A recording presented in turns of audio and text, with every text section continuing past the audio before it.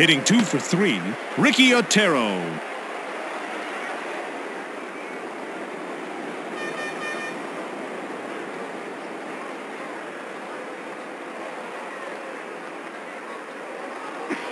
One and oh.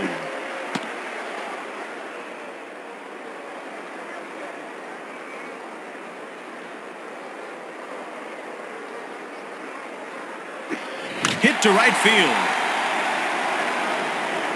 Well, there.